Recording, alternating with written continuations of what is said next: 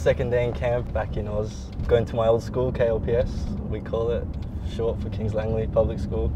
Hopefully see all the young boys and girls and inspire them because that's where I went growing up. This used to be my school, you know? Yeah. oh, welcome. How cool's that?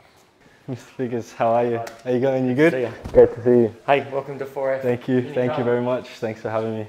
Hello. Hello. How are you? How you going? Now, Keanu, I've got a few things to show you. The kids did some artwork for you. They were so excited to have you.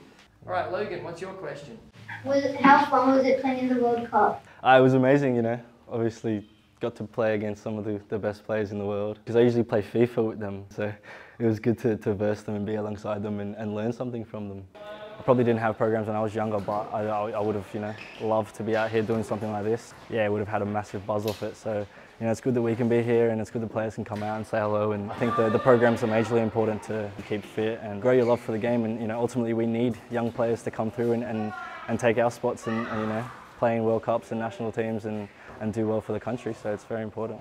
I can't remember what year exactly, but yeah, Schwarzy came and um, just inspired me massively to continue that journey of football that you know I was already doing, but obviously didn't know at the time that I, I could do something with myself. And, and, you know, it's credit to him because he inspired me to to go on and, and press for that you know that journey to, to become a reality. So. Yeah, he was a massive inspiration. Obviously, a great player for Australia. I had a lot of memories, and hopefully, I can uh, push on and, and do great things for the, for the team as well.